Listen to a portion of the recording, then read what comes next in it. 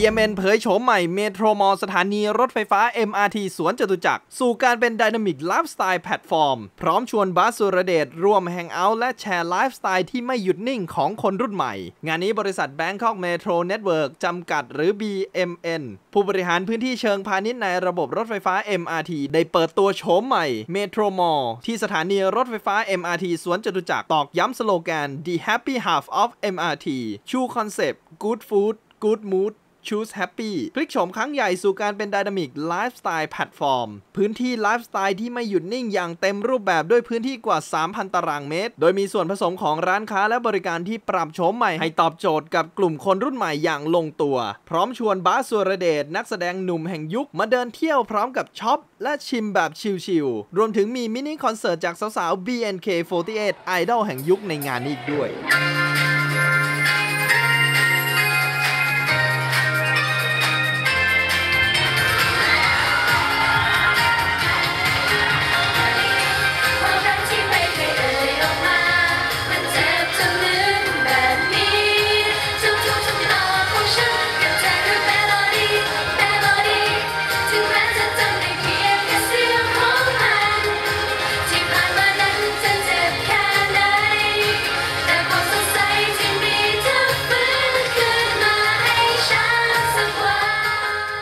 ทางด้านของผู้บริหารบริษัท BMN ระบุว่า Metro Mall ที่สถานีรถไฟฟ้า MRT สวนจตุจักรแห่งนี้ ซึ่งมาพร้อมกับโฉมใหม่หลังจากเมื่อช่วงปลายปีที่แล้วมีการปิดปรับปรุง โดยมาพร้อมกับคอนเซปต์ The Happy Hub of MRT เพื่อสร้างสรรค์พื้นที่เชิงพาณิชย์ในระบบรถไฟฟ้า MRT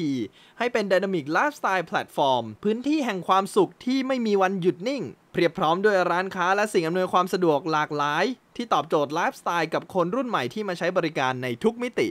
เราก็เลยคิดว่าเออมันถึงเวลาแล้วที่เราจะรีโนเวทสถานี MRT สวนจตุจักรใหม่ เพื่อจะให้ตอบโจทย์กับไลฟ์สไตล์คนเมืองให้มากยิ่งขึ้น วันนี้ก็เป็นงานการ opening เพราะว่าเราเปิดร้านค้าเกือบครบและก็รออีกไม่กี่ร้านครับก็คิดว่า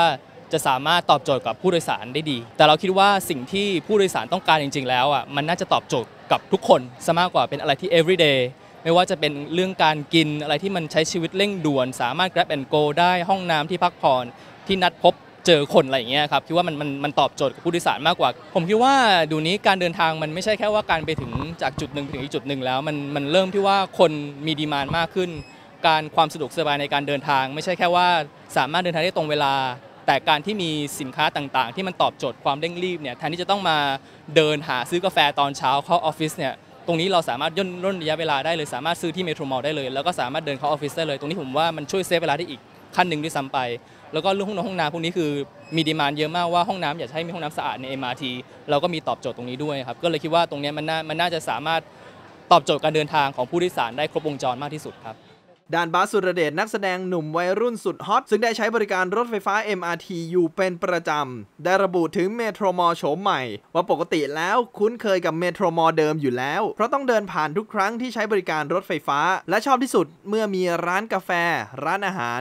และร้านตัดผม สามารถตอบโจทย์ไลฟ์สไตล์ของคนรุ่นใหม่ได้อย่างลงตัวโหต้องบอกว่าร้านต่างๆ คือเป็นร้านที่ทุกคนต้องพูดว่าฮิตกันเลยครับเพราะว่ามีทั้งคุยเตะสตาร์บัคแล้วก็คือร้านอาหารแบบเยอะมากครับผมใช่แล้วก็มีร้านแว่นท็อปเจริญ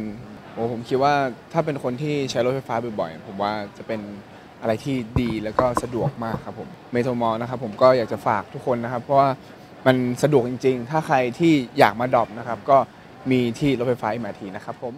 สำหรับ Metro Mall สถานีรถไฟฟ้า MRT สวนจตุจักรมีการปรับปรุงโฉมใหม่เพื่อเติมเต็มพื้นที่ Metro Mall แห่งนี้ โดยเกิดจากการสำรวจความต้องการของผู้โดยสารรถไฟฟ้า ผู้ใช้บริการเมโทรมอลซึ่งคนส่วนใหญ่ที่ใช้บริการมีอายุตั้งแต่ 23 ถึง 32 ปี เป็นนักเรียน นักศึกษา และพนักงานออฟฟิศ และกลุ่มที่มาใช้บริการรองลงมา คือกลุ่มคนที่มีอายุ 33 ถึง 43 ปี อีกทั้งยังมีชาวต่างชาติที่มาใช้บริการอย่างต่อเนื่อง และก่อนหน้านี้ได้มีการจัด Soft Opening ไปเมื่อเดือนมกราคมที่ผ่านมา และก็ได้รับการตอบรับเป็นอย่างดี ทั้งผู้ใช้บริการรถไฟฟ้า MRT เดิม ผู้ที่อยู่อาศัยบริเวณใกล้เคียง รวมถึงผู้ที่มาช้อปปิ้งที่ตลาดนัดสวนจตุจักรนอกจากมาใช้บริการร้านค้าแล้ว ภายใน Metro Mall ยังมีจุดถ่ายรูปพร้อมลวดลายต่าง ที่ตกแต่งอย่างสวยงาม เปิดโอกาสให้ทุกคนถ่ายรูปลงโซเชียล ได้เซลฟี่ และอวดเพื่อนๆในโซเชียลมีเดีย จนเกิดเป็นกระแสที่เรียกได้ว่า สร้างเป็นจุดเช็คอินใหม่ในย่านจตุจักรนี้ ท่านสามารถติดตามข่าวสารอื่นๆ เพิ่มเติมได้ที่ www.brickinfotv.com